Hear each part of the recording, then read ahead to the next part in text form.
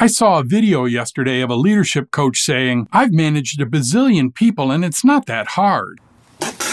Yeah, no, it is. From a distance, building a great team is pretty simple. I've been saying it for years. You need the right people, pointed in the right direction, working together. Boom!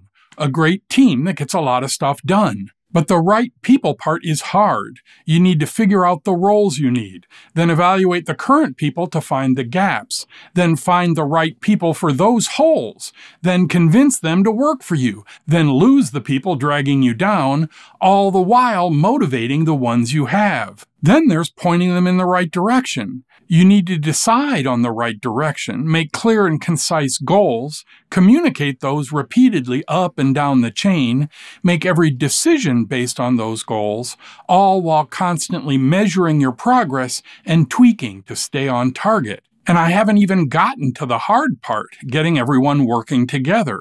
You need clear systems so that people know what's expected of them and everyone else around them. You need to make working together easy and automatic. You need to make sure everyone is heard and that problems surface quickly, all while balancing the chemistry that gets ever more complex the more people you have. So, yeah, while the concepts of leadership are straightforward, actually doing it is that hard, which convinces me that coach hasn't really done it.